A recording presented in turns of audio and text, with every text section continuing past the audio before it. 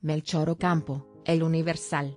Guión Valeria, la niña de 12 años, por la que vecinos organizaron células de búsqueda, y montaron retenes en la carretera Cuautitlán-Zumpango, para revisar cajuelas e interiores de autos y vehículos que cruzaban por este municipio, apareció muerta fuentes oficiales de la Fiscalía General de Justicia del Estado de México, FGEM, confirmaron el hallazgo del cuerpo de la pequeña, por la que el 14 de octubre emitieron un boletín de urgencia, como parte del programa Odisea.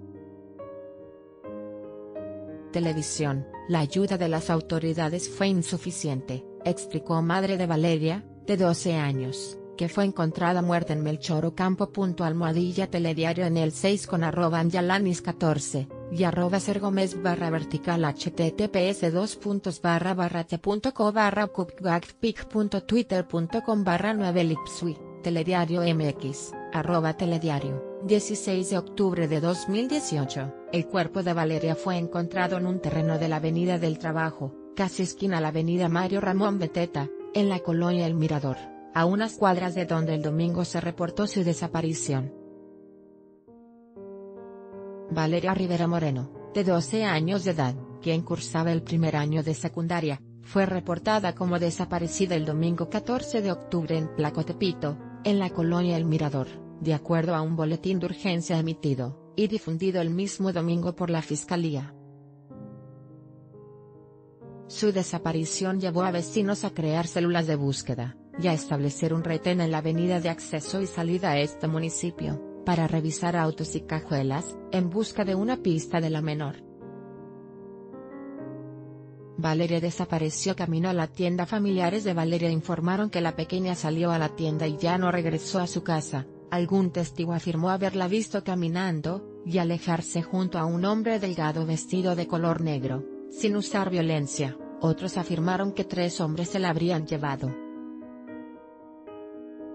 El cuerpo de la niña fue encontrado sin vida, prácticamente en la misma colonia donde vivía, antes del mediodía del lunes 15 de octubre, por lo que los vecinos suspendieron su búsqueda.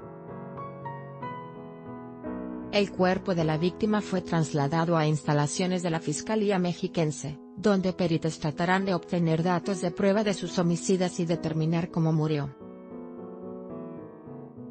Por este hecho, más de 200 pobladores de Melchor Ocampo protestaron frente a la presidencia municipal, para exigir justicia y detención de los responsables de este crimen. La presidenta municipal panista Miriam Escalona Piña escuchó la inconformidad de la población, sobre todo el reclamo de familiares y vecinos, quienes señalaron que policías municipales no atendieron al llamado de alerta y búsqueda de la niña.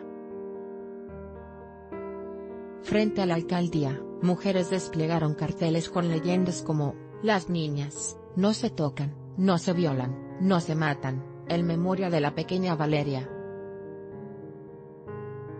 Incrementan los feminicidios en el Estado de México. Este año se registró un incremento de 40% en el número de feminicidios, pues mientras que el año pasado de enero a septiembre 50 mujeres fueron asesinadas por el hecho de ser mujeres, este año en el mismo lapso la cifra subió a 70, informó el fiscal Alejandro Jaime Gómez Sánchez. Melchor Ocampo no está incluido en los 11 municipios con alerta de género, no obstante, el caso de Valeria no es el único, en la misma colonia donde desapareció la menor, otra niña fue encontrada muerta en años anteriores, entre otros casos.